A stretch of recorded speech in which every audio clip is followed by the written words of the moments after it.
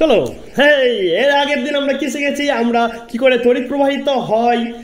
আধান বিভব, এই প্রত্যেকটা জিনিসের হুবহু ব্যাখ্যা। হ্যাঁ ব্যাখ্যা। এক্সপ্লেনেশন জেনে গেছি। আর আজকে আমরা জানব, তড়িৎ প্রবাহ হতে হতে কি নিয়ম? চলে আসলো। হঠাৎ করে কি নিয়মে তড়িৎ প্রবাহ হয়? সেই জিনিসগুলো আমরা এখন আজকে জানব। হ্যাঁ চলো শুরু করা যাক। আজকে আমরা জানব ওহমের সূত্র। চালু, শুরু, আরম্ভ। হ্যাঁ আমরা দেখেছিলাম যে একটা ব্যাটারি কীভাবে কাজ করে। একটা ব্যাটারি, এই যে ওপরে দেখতে পাচ্ছি, উচ্চ বিভব, নিম্ন বিভব, এখানে প্রচুর ঋণাত্মক আধান, আর এখানে প্রচুর ধনাত্মক আধান। পরিবাহী তার দিয়ে যুক্ত করেছিলাম। ইলেকট্রনের প্রবাহ শুরু হয়ে গিয়েছিল। ঠিক একই রকম একটা ব্যাটারিতে একটা জায়গায় ঋণাত্মক আধান করা থাকে আর একটা জায়গায় ধনাত্মক আধান থাকে। এবার যদি ঋণাত্মক আর ধনাত্মককে যুক্ত করে দেওয়া হয়, তাহলে তড়িৎ প্রবাহ হতে শুরু করে দেয়। এবার তড়িৎ প্রবাহকে আমরা ইচ্ছে মতো কন্ট্রোল করতে পারি। যদি আমরা মুক্ত বর্তনী করে দিই, অর্থাৎ এদের এই পুরো তারটাতে যদি সংযোগ বিচ্ছিন্ন করে দিতে পারি, তাহলে তড়িৎ প্রবাহ হবে না। তার জন্য আমরা কি লাগিয়েছি? সুইচ লাগিয়েছি। সুইচ যদি সুইচ অন করে দিই, তাহলে তারটা এসে জুড়ে যাবে, তড়িৎ প্রবাহ হবে। সুইচ অন না করলে সুইচ অফ থাকলে তারটা জুড়ে থাকবে না, তড়িৎ প্রবাহ হবে না। এখানেও আমরা ইচ্ছে মতো কন্ট্রোল করতে পারি। এবার যদি আমাদের আরও কানেকশান নেওয়ার দরকার হয়, এখানে যদি আরও কানেকশান নেওয়ার দরকার হয় তাহলে আমরা কি করব? এখান থেকে একটা তার কানেক্ট করে নেব, এখান থেকে একটা তার কানেক্ট করে নেব। তার এর তার ইলে তড়িৎ প্রবাহটা এই তার দিয়ে এইভাবে করে এসে আবার ঘুরে গিয়ে এদিক দিয়ে যাবে। তাহলে আমাদের অবশ্যই এরকম করে একটা বদ্ধ বর্তনী হয়ে যেতে হবে। তার মানে আমরা এখান থেকে ইচ্ছে মতো কানেকশান নিতে পারি ইচ্ছে মতো তড়িৎ প্রবাহকে কন্ট্রোল করতে পারি। ব্যাটারিতেও একই রকম, একটা জায়গায় ধনাত্মক করে দেওয়া হয়েছে আর একটা জায়গায় ঋণাত্মক করে দেওয়া হয়। তারপরে তড়িৎ প্রবাহ হয়। যদি আমরা সুইচটাকে চাপি, তাহলে তারটা জুড়ে যায় তড়িৎ প্রবাহ হয়, বাল্বটা জ্বলে ওঠে। সুইচ তার সুইচটাকে না চাপি, সুই তারটা জুড়ে না, বাল্বটা জ্বলে না। এবার, এখন যদি দেখি, এই আধানগুলো কি চিরস্থায়ী? মানে এখানে কি ঋণাত্মক আধান সবসময় থেকেই যাবে, ধনাত্মক আধান থেকেই যাবে। আমরা প্রথমেই বুঝে গেছি যে আস্তে আস্তে ঋণাত্মক আধান অর্থাৎ অতিরিক্ত ইলেকট্রন কিন্তু এখানে এসে পৌঁছাচ্ছে। আর এই ধনাত্মক আধানের কাছে অর্থাৎ হায়ার পোটেন্সিয়াল বা উচ্চ বিভবের কাছে আসা মাত্রই এই যে পজিটিভ অর্থাৎ ধনাত্মক আধানগুলোকে নিস্তরিত করে দিচ্ছে। নিজেরাও এখানে কমে যাচ্ছে। অর্থাৎ ঋণাত্মক আর ধনাত্মক দুই আধান কিন্তু কমতে আছে। যত তড়িৎ প্রবাহ হতে থাকবে, এমনি করে ঋণাত্মক আর ধনাত্মক আধানের মান কমতে থাকবে, অর্থাৎ তাদের বিভবের মান কমতে থাকবে, একসময় ওদের বিভব শূন্যতে এসে দাঁড়িয়ে যাবে। এখন তাহলে ব্যাটারির ক্ষেত্রেও একই। যে জায়গাটায় আমরা অতিরিক্ত ঋণাত্মক আধান জমা করে রেখেছি, অর্থাৎ মাইনাস করে রেখেছি, বা নেগেটিভ, আর যে জায়গাটায় ধনাত্মক করে রেখেছি মানে অতিরিক্ত কি রয়েছে? ধনাত্মক আধান রয়েছে। এরাও কি চিরস না, এরাও তড়িৎ প্রবাহ হতে হতে হতে হতে একটা সময় আর এখানে ঋণাত্মক থাকবে না, এখানে ধনাত্মক থাকবে না। তখন কি বলব? ব্যাটারিটা পুরো আনচার্জড হয়ে গেল। ব্যাটারিটা পুরো আনচার্জড হয়ে গেল।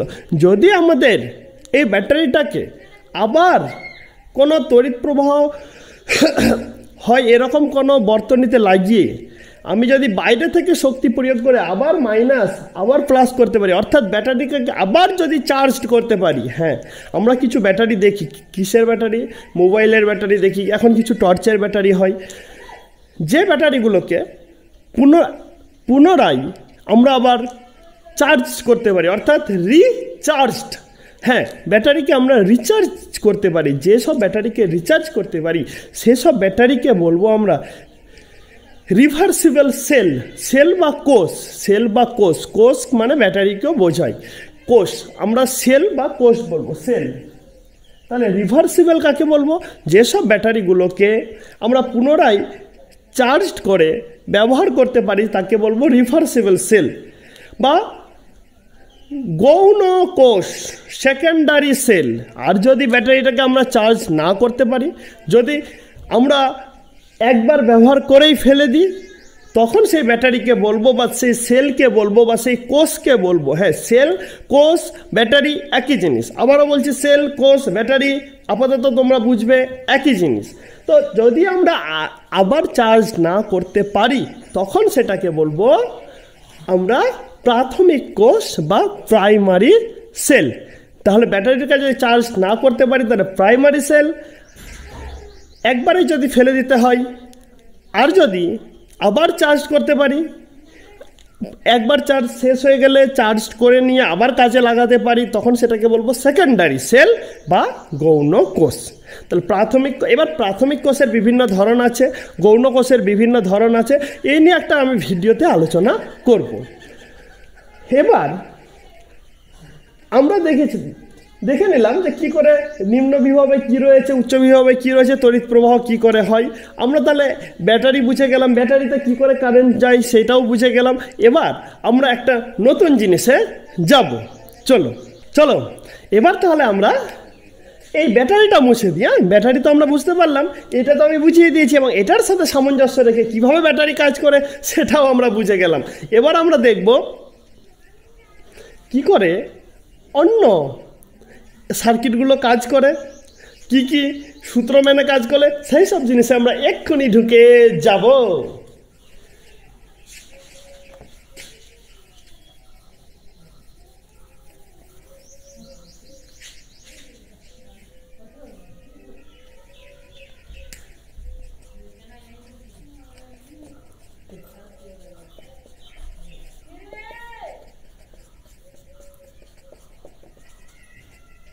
আচ্ছা বাবু, তোমরা বলো তো, এই যে এখানে নিম্ন বিভব আছে, আবার জিজ্ঞেস করছি, কি জমা আছে অতিরিক্ত? ইলেকট্রন। উচ্চ বিভব, ইলেকট্রনের অভাব, অর্থাৎ প্রোটনের সংখ্যা তুলনামূলকভাবে বেশি। কি দিয়ে যুক্ত করেছি? পরিবাহী তার দিয়ে। সুইচ দিয়ে ইচ্ছে মতো কন্ট্রোল করছি। ধরে নিলাম, সুইচটাকে আমরা লাগিয়ে দিয়েছি, সুইচটা লাগিয়ে দিয়েছি, এখন সুইচ নেই। সুইচটা connect inter connect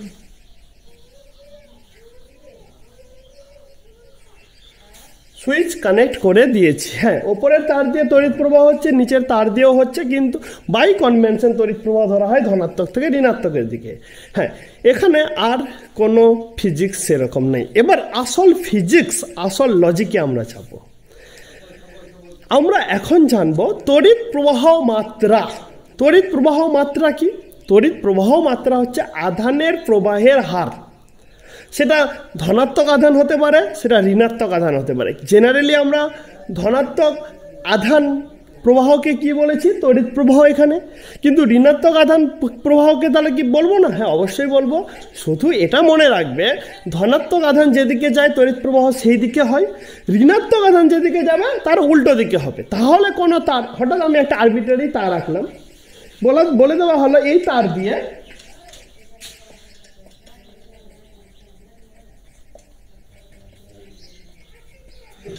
এই তার দিয়ে বলা হলো, ইলেকট্রন এইদিকে ছুটছে, ইলেকট্রন এইদিকে ছুটতে শুরু করেছে। আচ্ছা ইলেকট্রন যদি এইদিকে ছুট- ছুটতে শুরু করে, তাহলে এটা এখানে হাত দিলে কি শখ খাব না? অবশ্যই খাব।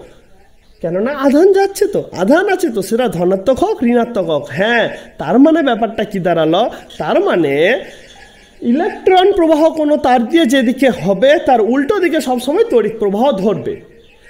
আমরা যদি গোড়া থেকেই ধরে নিতাম যে ঋণাত্মক অর্থাৎ ইলেকট্রন প্রবাহের দিকটাই তড়িৎ প্রবাহের দিক, তাহলে এখনও কিন্তু আমরা সেটাই করতাম। তাহলে উল্টো দিকটাকে কি ধরতে হতো? উল্টো দিকটাকে যদি, তাহলে ধনাত্মক আধান যেদিকে যেত, তার উল্টো দিকটাকে ধরতাম তড়িৎ প্রবাহ। কিন্তু আমরা গোড়া থেকে বাই কনভেনশন আবার বলছি, প্রচলিত প্রথা অনুসারে। কি ধরা হয়েছে? ধনাত্মক থেকে ঋণাত্মকের দিকে তড়িৎ প্রবাহ, ঋণাত্মক থেকে ধনাত্মকের দিকে ইলেকট্রন প্রবাহ। তাহলে যেদিকে ধনাত্মক তড়িৎদ্বার থাকবে, যেখানে ঋণাত্মক থাকবে, তো সবসময় ধনাত্মক থেকে ঋণাত্মকে তড়িৎ প্রবাহ ধরবো আমরা, আর ঋণাত্মক থেকে ধনাত্মকে ইলেকট্রন আসবে, তাহলে তার উল্টো দিকটাকে তড়িৎ প্রবাহ ধরবো। তাহলে আরবিট্রারি হঠাৎ করে কোনো একটা তার যদি তোমাকে দিয়ে দেওয়া হয়, এই তারে বলা হলো ইলেকট্রন এই দিকে যাচ্ছে। তার মানে তড়িৎ প্রবাহ কোন দিকে যাবে? তড়িৎ প্রবাহ এই দিকে ধরে নেবে। একদম, কোনো অসুবিধা নেই। তো ইলেকট্রন প্রবাহ এই দিকে হচ্ছে, তড়িৎ প্রবাহ এই দিকে ধরে নেবে। এবার, তড়িৎ প্রবাহ মাত্রা। তড়িৎ প্রবাহ তড়িৎ প্রবাহ মাত্রা কাকে বলব? তড়িৎ প্রবাহ মাত্রা আধানের প্রবাহের হার।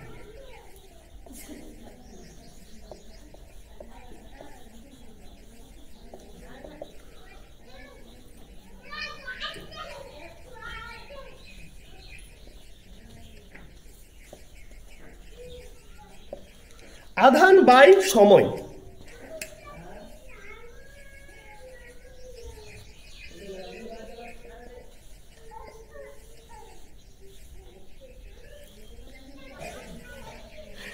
আধানকে যদি আমরা কিউ দিয়ে ডিনোট করি, তাহলে আর সময়কে যদি টি দিয়ে ডিনোট করি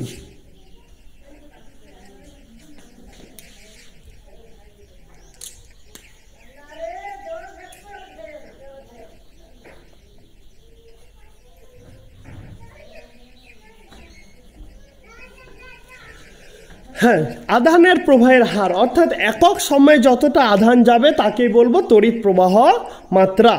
এই যে, ইলেকট্রন যাওয়া, ধনাত্মক আধানও যদি যায়, তাহলে ইলেকট্রন, এই আধান যাওয়াটাকে বলব তড়িৎ প্রবাহ।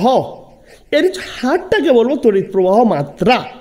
অর্থাৎ, এক কোনো আধান কোথাও পাস করল, কিছু আধান পাস করল, সেটা যেতে কতটা সময় নিল? কোনো একটা পয়েন্ট আমি ধরে নিলাম, কোনো, সেই পয়েন্টের কে পাস করতে কোনো কিউ আধানের যদি টি সময় লাগে, তাহলে তড়িৎ প্রবাহ মাত্রা কত হবে? কিউ বাই টি আধান প্রবাহের হার। আবারও বলছি, আধান প্রবাহের হারকে আমরা বলব তড়িৎ প্রবাহ মাত্রা। তড়িৎ প্রবাহ মাত্রা হচ্ছে আধান প্রবাহের, তাহলে আগে কার গল্প আসলো? আধান, পরে সময়, তারপরে তড়িৎ প্রবাহ মাত্রা পেলাম হ্যাঁ। কিন্তু প্রথম দিকে এই তড়িৎ প্রবাহ মাত্রাকে ফান্ডামেন্টাল রাশি বা মৌলিক রাশি ধরা হয়েছিল। কিন্তু দেখতে পাচ্ছি তড়িৎ প্রবাহ মাত্রাটা কার ওপর নির্ভর করছে? আধানের ওপর আর সময়ের ওপর। তাহলে এই ক্ষেত্রে যদি আমরা আধানকে মৌলিক রাশি ধরে নিতাম, তাহলেও কিন্তু আমাদের ভুল হতো না।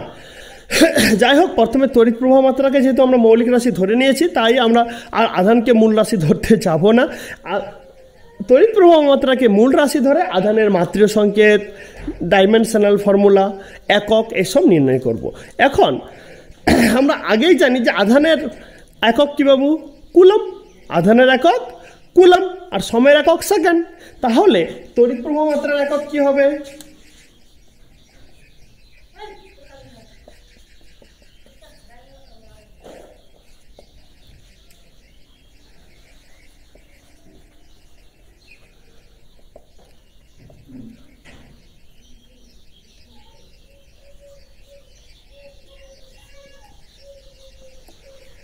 একক হলো কুলম পার সেকেন্ড অর্থাৎ কুলম সেকেন্ড ইনভার্স এইটাকে কি বলা হয়? এইটাকে বলা হয় অ্যাম্পেয়ার কি বলা হয়? অ্যাম্পিয়ার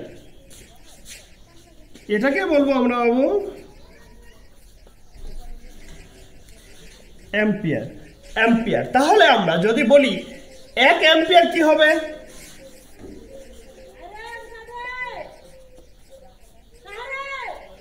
ওয়ান কুলাম আধান, অর্থাৎ এক কুলাম আধান, যেতে যদি এক সেকেন্ড সময় নেয়, তাহলে সেই তড়িৎ প্রবাহ মাত্রাকে বলব এক অ্যাম্পিয়ার। এক কুলাম আধান যদি যেতে এক সেকেন্ড সময় নেয়, তাহলে সেটাকে বলব এক অ্যাম্পিয়ার তড়িৎ প্রবাহ মাত্রা। এবার একটা ছোট্ট জিনিস আমি বলি। খুব মন দিয়ে বুঝবে। আসল সূত্রতে যাচ্ছি, যেটা নিয়ে এতক্ষণ ধরে আমাদের আমি ভেটালাম যে যেই জিনিসটাতে যাওয়ার জন্য, যেটাকে বোঝানোর জন্য, সেইটাতে আমরা যাচ্ছি এখন। আমাকে বলো তো বাবু, যদি এখানের এখানকার বিভব মাইনাস ভি ছিল, হঠাৎ করে মাইনাস টু ভি হয়ে গেল। কত হয়ে গেল? Minus two V.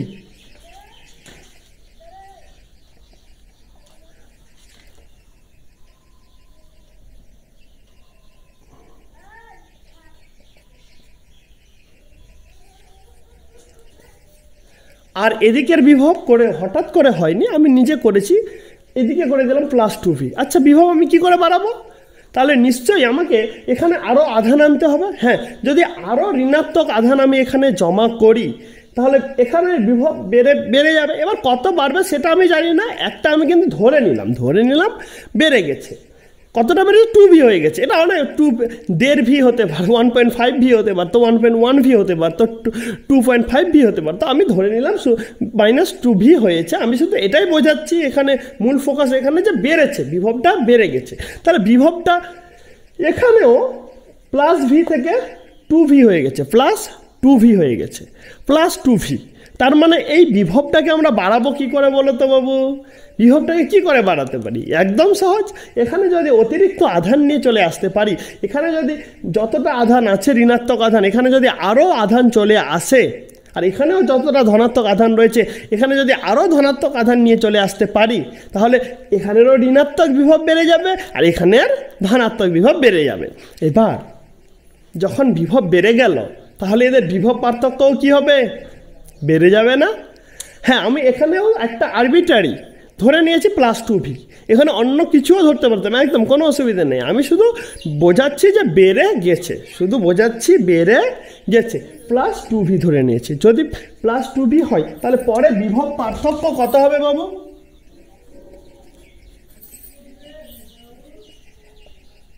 পরে হয়েছে।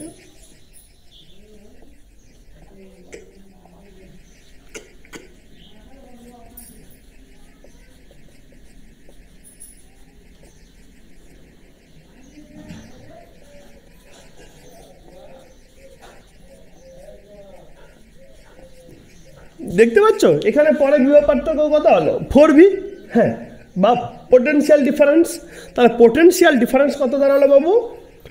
ফোর ভি এই যে ফোর ভি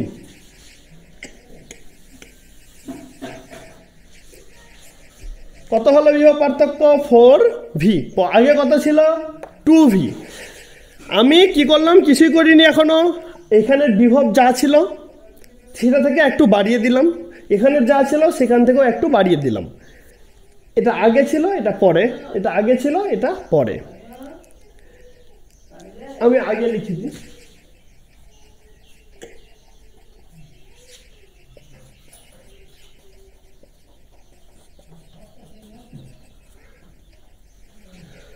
এবার বিভবটা আমরা কি করে বাড়িয়েছি? আবারও বলছি, বিভব কি করে বাড়াতে পারব? একদম সোজা জিনিস এখানে যতটা ঋণাত্মক আধান আছে আরও ঋণাত্মক আধান এনে জমা করে দেবো। এখানে যতটা ধনাত্মক আধান আছে আরও ধনাত্মক আধান এনে জমা করে দেবো। তার মানে অতিরিক্ত আধান জমা করার ফলে আমরা বিভবটাকে বাড়িয়ে দিতে পারলাম। এবার যদি বিভবটা বেড়ে যায়, বিভবটা যখন বেড়ে গেল, প্রথম অবস্থায় যে হারে আধান যাচ্ছিল, দ্বিতীয় অবস্থায় কি সেই হারেই যাবে? দ্বিতীয় অবস্থায় আধানের প্রবাহের হারটা বাড়বে না? কীরকম? প্রথম অবস্থায় বিভব ছিল কম, পরে বিভব হলো বেশি। আচ্ছা তার মানে প্রথম অবস্থায় আধান জমা ছিল কম, দ্বিতীয় অবস্থায় আধান জমা হলো বেশি। প্রথম অবস্থায় নিজেদের মধ্যে বিকর্ষণ বল কুলম্বের সূত্র অনুসারে কম ছিল, এখন নিজেদের মধ্যে বিকর্ষণ বলটা বেশি। এখন, আগে ইলেকট্রনের মধ্যে বিকর্ষণ বল, ধনাত্মক আধারের মধ্যে বিকর্ষণ বল, নিজেদের মধ্যে ধাক্কা ধাক্কিও বলতে পারি। হারটা ছিল কম, এখন কিন্তু বেশি, কারণ এখন এখন বেশি আধান জমা হয়েছে। তাহলে,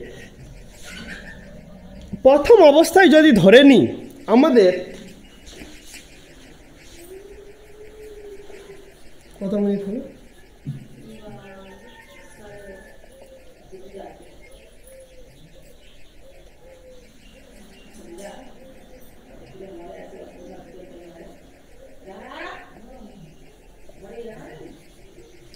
প্রথম অবস্থায় পাঁচ কুলাম আধান যেতে সময় নিচ্ছিল দুই সেকেন্ড।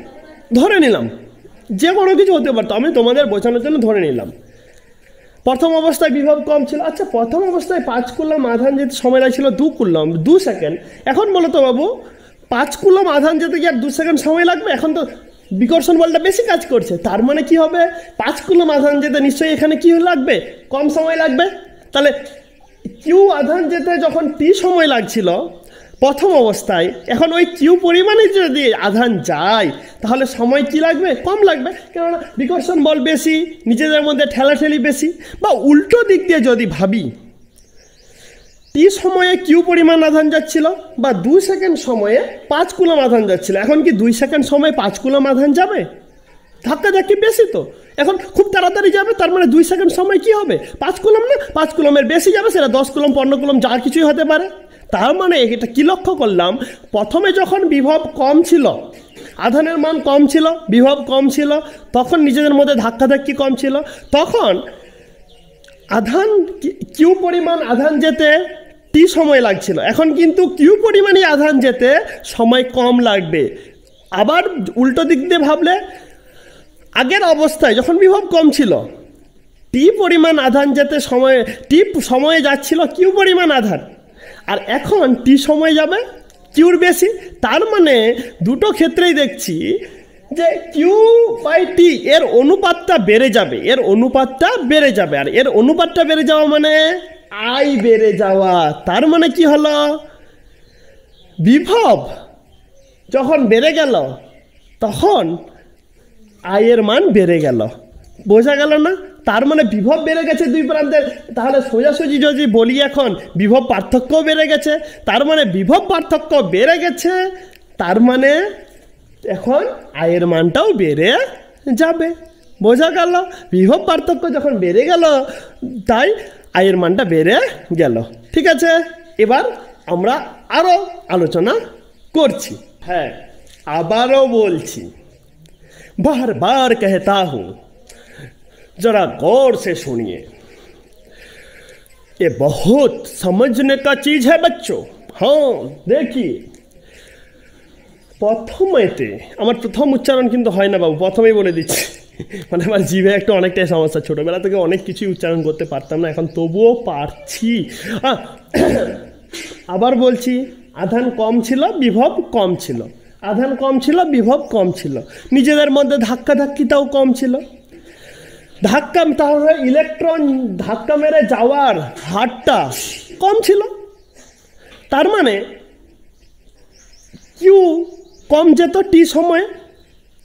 এখন আধান বেশি জমা করলাম, এখানেও জমা করলাম, বিভব বেড়ে মাইনাস ভি থেকে মাইনাস টু ভি হয়ে গেল। এখানে প্লাস ভি থেকে প্লাস টু ভি হয়ে গেল। বিভবের পার্থক্য আগে ছিল টু ভি পরে বিভব পার্থক্য হল ফোর ভি তাহলে, আবারও বলছি, প্রথম অবস্থায় যখন বিভবের পার্থক্য কম ছিল, তখন পাঁচ কুলাম আধান যেতে যদি দু সেকেন্ড সময় লাগতো, এখন কি আর পাঁচ কুলাম আধান যেতে দুই সেকেন্ড লাগবে? তোমরাই বলো। পাঁচ কুলম আধান যেতে এখন নিশ্চয়ই দুই সেকেন্ডের কি লাগবে? কম সময় লাগবে। তার মানে এই দুইয়ের যায় পাঁচ নিচে যে দুই দেখতে পাচ্ছি, এই দুইটা যদি কমে যায়, তাহলে এই এই টু পয়েন্ট ফাইভ আর থাকবে না, এটা নিশ্চয়ই বেড়ে যাবে। এটা নিশ্চয়ই বেড়ে যাবে। যদি এটা দুইটা, দুই না হয়ে এক সেকেন্ড হয়ে যায়, তখন এটা হয়ে যাবে কত? ফাইভ অ্যাম্পিয়ার তখন এটা হয়ে যাবে ফাইভ অ্যাম্পিয়ার বা উল্টো দিক দিয়ে যদি ভাবি প্রথম অবস্থায় যখন বিভব কম ছিল, বিভবের পার্থক্য কম ছিল, তখন এই দুই সেকেন্ড সময়ে পাঁচ কুলাম আধান যাচ্ছিল। এখন কি আর দুই সেকেন্ডে পাঁচ কুলাম যাবে? দুই সেকেন্ডে এখন দশ কুলমও যেতে পারে? আমি ধরে নিলাম দশ কুলমও যেতে পারে। তাহলে তখন, এখন আগে দুই সেকেন্ডে যাচ্ছিল পাঁচ কুলাম আধান, এখন দুই সেকেন্ডে যাবে দশ কুলাম সরাসরি যে দশ কলম যাবে সেটা না, আমি শুধু বোঝানোর জন্য বলছি। আমি কি বোঝাতে চাইছি? যদি দু প্রান্তে আরও ধন ঋণাত্মক, এদিকে আরও ধনাত্মক আধান জমা করি, তাহলে বিভবের মানটা দুই প্রান্তের বাড়বে, বিভবের পার্থক্য বাড়বে। বিভবের পার্থক্য যদি বেড়ে যায়, আধানের প্রবাহের হারটা বেড়ে যাবে। এক কথায় আধান প্রবাহের হারটা বেড়ে যাবে। অর্থাৎ একই পরিমাণ আধান যেতে আগে যা সময় লাগতো, এখন আধান যেতে সময় কম লাগবে বা একই সময়ে আগে যা আধান যেত, এখন সেই সময়ে আধানটা বেশি যাবে। তার মানে এক কথায় এক কথায় কি বেড়ে যাবে? আই বেড়ে যাবে। টি ফিক্স থেকে হয়তো কিউ বাড়বে কিউ ফিক্স থেকে টি কমবে। অর্থাৎ আমি যে দিক দিয়ে ভাবি না কেন, আই বেড়ে যাবে। তড়িৎ প্রবাহ মাত্রা বেড়ে যাবে। কখন বাড়ল? যখন দুই প্রান্তের বিভব বেড়ে গেল। এখানে ঋণাত্মক বিভব, এখানে ধনাত্মক বিভব, অর্থাৎ বিভবের পার্থক্য বেড়ে গেল। তার মানে কি বুঝতে পারলাম? যদি বিভবের পার্থক্য বেড়ে যায়, যদি বিভবের পার্থক্য বেড়ে যায়, তাহলে তড়িৎ প্রবাহ মাত্রা বেড়ে যাবে। একদম! আমরা দেখতেই পেলাম। বিভবের পার্থক্য কেন বাড়বে? এদিকে বিভব বাড়বে তবে। এদিকে ঋণাত্মক বিভব বাড়বে, এদিকে ধনাত্মক বিভব। আমি ধরে নিয়েছি, এখানে ঋণাত্মক বিভব মাইনাস টু বি এখানকার ঋণাত্মক বিভব প্লাস টু বি বিভব বেড়ে যাওয়াতে দুই প্রান্তের বিভব, দুই প্রান্তের বিভব, ওদিকে ঋণাত্মক, এদিকে ধনাত্মক বেড়ে যাওয়াতে বিভবের পার্থক্য বেড়ে গেল। বিভবের পার্থক্য বেড়ে যাওয়াতে দেখতে পাচ্ছি, নিজেদের মধ্যে ধাক্কাধাক্কি বেড়ে গেল আধান প্রবাহের হারটা বেড়ে গেল। আর আধান প্রবাহের হারটা কীভাবে বাড়লো, আমি একদম বুঝিয়ে দিয়েছি। তার মানে সরাসরি বলব, বিভব পার্থক্যের বেড়ে গেলে বিভব পার্থক্য বেড়ে গেলে আই বেড়ে গেল। অর্থাৎ তড়িৎ প্রবাহ মাত্রা বেড়ে গেল। আমি এবার নিচের জিনিসগুলো মুছে দিচ্ছি বাবু, বোঝা গেল? আচ্ছা।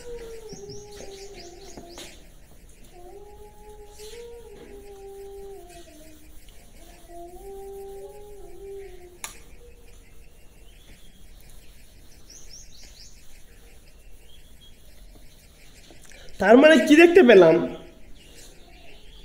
বিভবের পার্থক্য যদি বেড়ে যায়, দুই প্রান্তের বিভবের যে পার্থক্যটা রয়েছে ডিফারেন্সটা রয়েছে, বিভব পার্থক্যকে ইংরেজিতে কি বলব? পোটেনশিয়াল ডিফারেন্স হ্যাঁ দুই প্রান্তের যদি পোটেনশিয়াল ডিফারেন্স বেড়ে যায়, তার মানে তড়িৎ প্রবাহ মাত্রা বেড়ে যাবে। আর তড়িৎ প্রবাহ মাত্রা বেড়ে যাবে, বিভব পার্থক্য বাড়লে। এটা প্রথম কে লক্ষ্য করেছিল? আমার, তোমার, সবার প্রিয়। আমার দাদু না। ওহোম ওহোম। হ্যাঁ আমি জানি না কতটা ঠিক, কিন্তু আমি এটা বিশ্বাস করি, যদি স্বর্গ, জান্নাত বলে কিছু থাকে, তাহলে গেলে কিন্তু আগে বিজ্ঞানীরাই যাবে। কেননা বিজ্ঞানীদের দৌলতে কিন্তু আজ আমরা এত সুখে আছি। তাহলে তাদের একটা আবিষ্কার, কত জেনারেশন ধরে মানে পৃথিবীর শেষ পর্যন্ত মানুষকে সুখে রেখেছে, আরাম দিয়েছে, তাহলে তারা তো পুণ্য পেয়েই যাচ্ছে। তাহলে তারা এত পুণ্য রাখবে কোথায়? তাদেরকে আগে স্বর্গ জান্নাতে নিয়ে যাবে না তো কাদেরকে নিয়ে যাবে? এমনি বললাম। এগুলো অনেক পরের আলোচনা। চলো বাবু। আচ্ছা। এবার আমরা দেখলাম যে বিভবের পার্থক্য দু প্রান্তের বেড়ে গেলে তড়িৎ প্রবাহ মাত্রা বেড়ে যাচ্ছে। এটা ফার্স্টকে লক্ষ্য করেছিল ওহম হ্যাঁ একটা জিনিস বাড়লে, একটা জিনিস যদি বাড়ে, তাহলে সেটা সেই সম্পর্কে কি বলি বলো তো বাবু? দশজন লোক দশ কেজি চালের ভাত খাই। তাহলে পনেরো জন লোক কত কেজি চালের ভাত খাবে? পনেরো কেজি চালের ভাত? তার মানে লোক সংখ্যা বেড়ে গেল। মানে চালের পরিমাণটাও বেড়ে গেল তাহলে? লোক সংখ্যা বাড়ালে চালের পরিমাণটাও বাড়াতে হবে। তাহলে আমি যদি বলি লোক সংখ্যার সঙ্গে চালের পরিমাণের সম্পর্ক কীরকম? ক্লাস সেভেনের অঙ্ক, সরল সম্পর্ক, সমানুপাতিক সম্পর্ক। সমানুপাতিক সম্পর্ককে ভেরিয়েশনের অঙ্ক করেছে না? ভেদ, ভেদের অঙ্ক?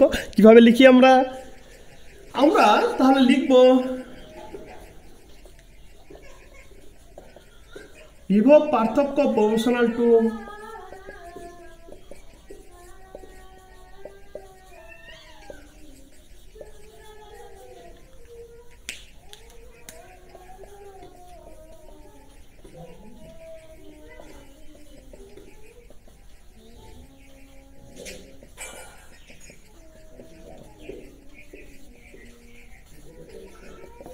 হ্যাঁ তাহলে বিভব পার্থক্য প্রপোর্শনাল টু প্রপোর্শনাল অর্থাৎ সমানুপাতিক। আবার বলছি উচ্চারণ কিন্তু আমার ঠিক হয় না এটা নিয়ে কেউ কিন্তু দোষারোপ করো না বাবু, প্রচুর উচ্চারণ গন্ডগোল হয়। আই লাভ ইউ ইউ কে আই লাভ ইউ বলে চালিয়ে দিই কখনো? আচ্ছা তাহলে বিভব পার্থক্য পোটেন্সিয়াল ডিফারেন্স কে আমরা কি বলব? তড়িৎ প্রবাহ মাত্রা। না না, কাউকে বলিনি। ও অত সব ভেদ- ভাবতে যেও না বাবু। এমনি বললাম মানে উচ্চারণটা হয় না তো? আই লাবু আই লাবু হয়ে যায়। আই লাবু আই লাবু আই লেবু আই লেবু বিভব পার্থক্য বা potential difference proportional to electric current অর্থাৎ দুই প্রান্তের বিভব পার্থক্য বাড়লে প্রবাহ মাত্রা বাড়বে কখন? যদি তাপমাত্রা ও অন্যান্য ভৌত অবস্থা অপরিবর্তিত থাকে, কেন বাবু বলো তো ওহম একদম খুব ভালো করে এটা সারেন্ডার হয়ে গেছিলেন। উনি দেখেছিলেন যে তাপমাত্রাটাও আবার একটু ফ্যাক্টর হয়ে দাঁড়াচ্ছে। তাপমাত্রাটা খুব বেশি না হলেও অল্প করে প্রভাব ফেলে কার ওপর তড়িৎ প্রবাহ মাত্রার ওপর। কোনো পরিবাহীর মধ্য দিয়ে তড়িৎ প্রবাহ মাত্রা হওয়ার সময় যদি তাপমাত্রাকে বাড়ানো হয়, তাহলে তড়িৎ প্রবাহ মাত্রা দেখব আমরা কমে যাচ্ছে। তাই আমরা তড়িৎ প্রবাহ মাত্রাকে ধ্রুবক রাখব। তড়িৎ প্রবাহ মাত্রা নিয়ে এখন আমরা আলোচনায় আসছি। সরি তাপমাত্রা তড়িৎ প্রবাহ মাত্রার ওপর। কি করে প্রভাব ফেলে সেটা নিয়ে আলোচনায় এখন আসছি। না, তাই ওহম বলে দিলেন যে যদি তাপমাত্রা ও অন্যান্য ভৌত অবস্থা মানে উনি বলেই দিলেন অন্যান্য ভৌত অবস্থা মানে আর কোনো ফ্যাক্টর এখানে আর কোনো কিছুকে ধরব না। তাপমাত্রা আর অন্যান্য ভৌত অবস্থা মানে সবই বাদ। তাপমাত্রা তো বাদ হয়েই গেল যখনই বলে দিল অন্যান্য ভৌত অবস্থা মানে সব বাদ। তাহলে ও, বাকি আর কোনো ভৌত ধর্মকে আমরা এখানে আর ধরবো না। শুধু কাকে ধরবো? তাপমাত্রা, অন্যান্য ভৌত অবস্থা যখন বাদ হয়ে গেল, তাপমাত্রা ও অন্যান্য ভৌত অবস্থা অপরিবর্তিত থাকলে, অর্থাৎ আনচেঞ্জড যদি কনস্ট্যান্ট থাকে। পরিবাহীর দুই প্রান্তের বিভব পার্থক্যের সঙ্গে সমানুপাতিক হয় কে? তড়িৎ প্রবাহ মাত্রা। তার মানে আবারও বলছি, ওহম কি বললেন যে তাপমাত্রা ও অন্যান্য ভৌত অবস্থা যদি অপরিবর্তিত থাকে, তাহলে কোনো পরিবাহীর মধ্য দিয়ে তড়িৎ প্রবাহ মাত্রা ওই পরিবাহীর দুই প্রান্তের বিভব পার্থক্যের সঙ্গে সমানুপাতিক। আমি একটু আগে দেখেছি, বিভব পার্থক্য বাড়লে তড়িৎ প্রবাহ মাত্রা বাড়বে, আর বিভব পার্থক্য কমলে তড়িৎ প্রবাহ মাত্রা কমবে। এবং কেন হয়? পুরো ব্যাখ্যা কিন্তু আমি দেখে নিয়েছি। একটু আগেই তোমরা দেখে নিয়েছো। এখন দু প্রান্তের বিভব পার্থক্যকে আমি ভি দিয়ে, শুধু ভি দিয়ে ডিনোট করছি হ্যাঁ? আগে তো এদিকের বিভব ভি দিয়ে ডিনোট করছিলাম, এখন ওগুলো মুছে দিয়েছি বাবু। দুই প্রান্তের বিভব পার্থক্যকে কী দিয়ে ডিনোট করছি? ভি দিয়ে তাহলে আমরা কি লিখব?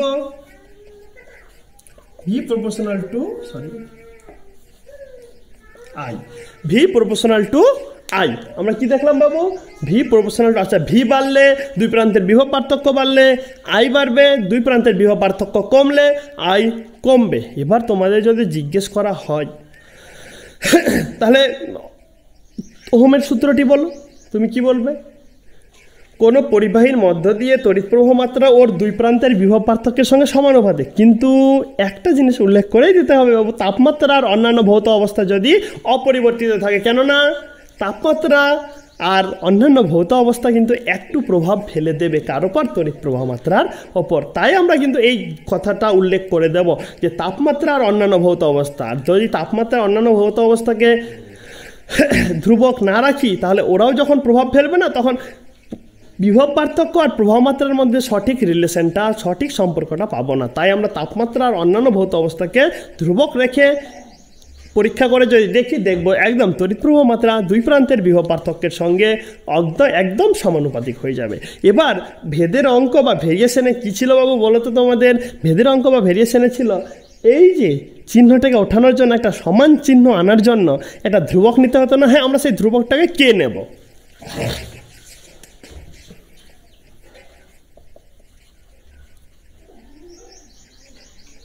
কি পেলাম? ভি ইকুয়াস টু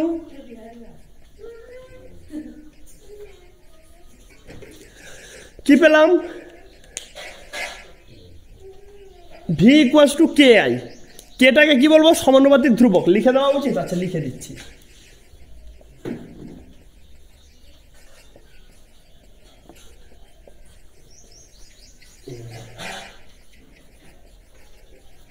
কেটা হলো সমানুপাতিক ধ্রুবক। কেটা কি বাবু সমানুপাতিক ধ্রুবক। আচ্ছা এই কালি বারবার নাকে ঠেকলে একটু চুলকাচ্ছে হ্যাঁ?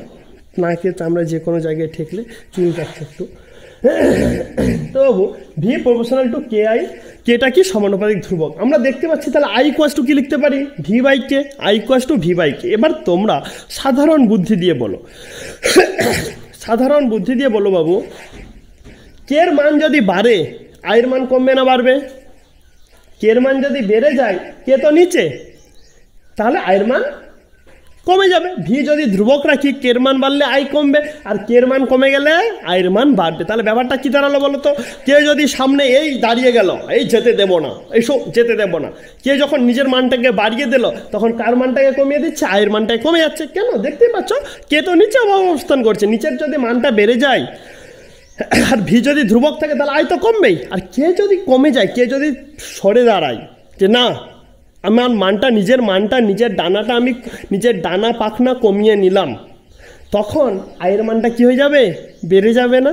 তাহলে কে এমন একটা রাশি যেটা দেখতে পাচ্ছি, যার মান বাড়লে আয়ের মান কমছে, যার মান কমলে আয়ের মান বাড়ছে। কে এমন একটা রাশি যার মান বাড়লে আয়ের মানটা কমছে আর যার মান কমলে আয়ের মানটা বাড়ছে। হ্যাঁ কে তাহলে একটা বাধা বলতে পারি না?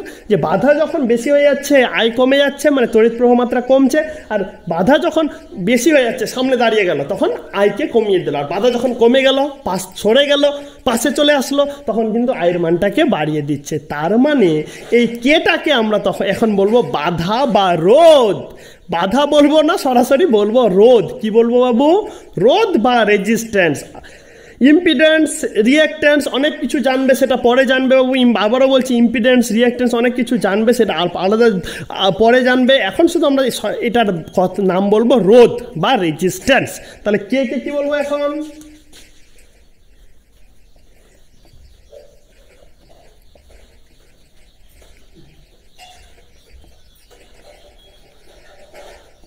আর ডিনোট করব আর দিয়ে। কি দিয়ে ডিনোট করব বাবু? বড় হাতের আর দিয়ে। কেন? বাধা বা রোধ নামটা হলো বাবু, দেখতেই পাচ্ছ কের মানটা বেড়ে গেলে আয় কমে যাচ্ছে কের মানটা কমে গেলে আয় বেড়ে যাচ্ছে। এ, যদি কে বেড়ে যায় আয়কে কমিয়ে দিল, কমে গেলে কে কমে গেলে আয়কে বাড়িয়ে দিল। তার মানে এটা বাধা দিচ্ছে, বাধা বেশি হয়ে গেলে আয় কমে যাচ্ছে, বাধা কম হয়ে গেলে আয় বেড়ে যাচ্ছে। তার মানে এই কেটা বাধা হয়ে কাজ করছে, তাহলে এটাকে বলব রোধ। তার মানে আমরা এখন কি লিখতে পারব? সরাসরি, একদম সরাসরি লিখতে পাবো V equals to I R এই ধ্রুবকটা আমরা কি দিয়ে ডিনোট করি ভি ইকুয়াস টু কি হয়ে গেল বাবু? I R V equals to I R আরটা কি? রোধ বা রেজিস্ট্যান্স ক্লিয়ার তোমরা এখন আর এর আর এর রোধের ডাইমেনশনাল ফর্মুলা মাতৃ সংকেত দেখাও, আমাকে বের করে দেখাও। আর আরের এককটা বলে দিই আরের একক হচ্ছে বাবু ওহম। আরের একক যেহেতু ওহম এই সূত্রটা দিয়েছিল, তার ওর নাম অনুসারে আরের একক কী হলো বাবু? ওহম। লিখে দিচ্ছি।